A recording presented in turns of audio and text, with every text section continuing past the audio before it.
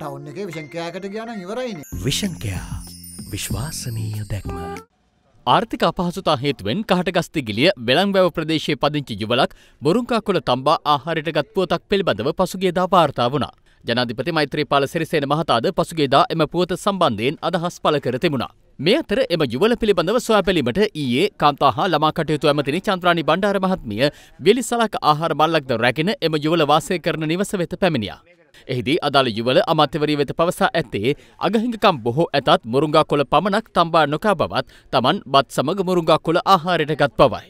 එදා මොනවද කෑවේකොට බතුයි මුරුගයි. කොල කෑවද මුරුගා? ඇයි එහෙම කණ්ඩ නැති වුණේ ඇයි බතු තිබ්බද හොයාගන්න බතුයි ඒවයිද කෑවේ? ඒවයි කෑව එදා නම් කෑවේ මේ බක් පුට්ටක් තිබිලා මුළු ගහවල තමයි වැඩිපුර මං හදාන කෑවේ. අපි මේ බල්ලයන්ට කියලා ආවේ මේ දැක්කහම ජනාධිපතිතුමා. ඔක්කොම තේරෙනවා මේ මේකෙද ඉන්නේ.